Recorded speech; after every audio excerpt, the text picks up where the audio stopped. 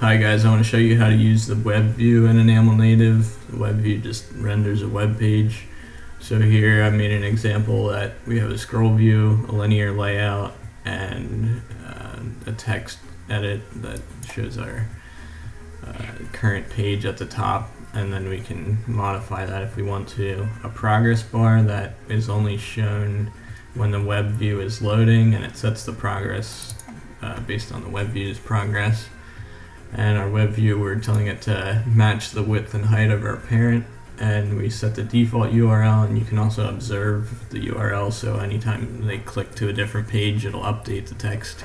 So here we're just binding that to the text edit at the top. And then we're also observing any title changes so when that changes it's showing a toast message with the title.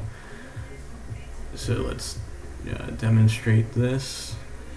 Here let's just click another page. You see the bar pops up and it loads pretty quickly.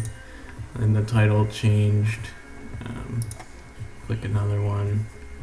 Title changed.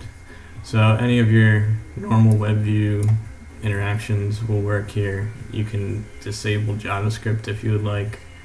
You can view the error message if it happened, error code, and you can also trigger events um, so if you want to reload the page from Enaml, so you can set a button and call webview.reload, and you can tell it to go to the previous or next page, and you can also zoom in and zoom out programmatically. So pretty simple usage. Uh, thanks for watching.